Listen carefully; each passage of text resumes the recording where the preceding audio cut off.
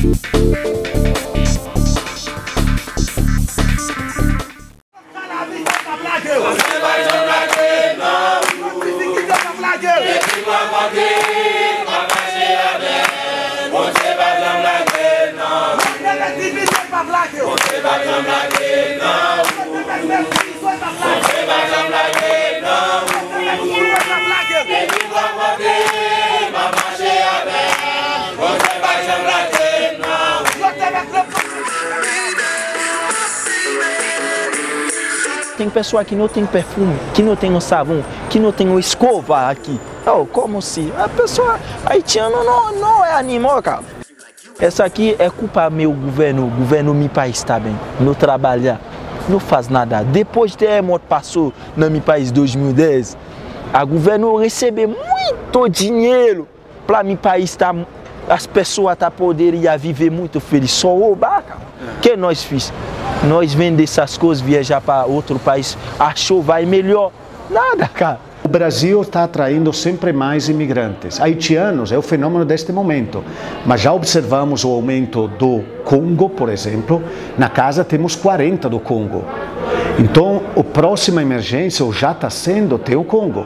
Então, acho que a prefeitura tem que se organizar para não eh, estar eh, tão desprevenida como nesse momento. Quando eu cheguei aí, eu não tenho dinheiro para alugar um, um quarto para morar. Eu pedi para padre e para deixar eu moro lá para lá para fora lá. Tem uma casa para o imigrante. Ele deixar eu moro. Aqui aconteceu o seguinte, eu podia sair, acordei 6 horas, sair lá, eu podia entrar só 6 horas.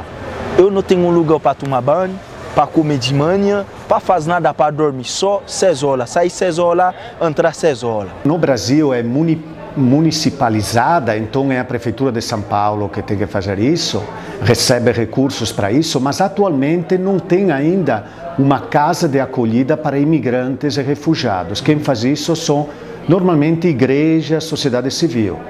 São três grandes entidades ligadas à igreja que fazem este serviço em São Paulo, não tem mais nada. Se governo o Brasil aceita um estrangeiro vir para cá, você que dá todo esse negócio normal, documento para ele trabalhar. Já tivemos brasileiros sensibilizados, empresário que oferece até eh, moradia, estadia para o trabalhador, mas falta carteira de trabalho. A carteira de trabalho está demorando bastante tempo. Se aceitar ele entrar no da carteira de trabalho para ele, é melhor deixar ele não entrar, porque ele vai fazer aí não vai fazer nada, não tem dinheiro, fica passar fome. Ele pode roubar, porque não, tem pessoa que não consegue fome. Quando eles fome, tá com fome, ele roubar.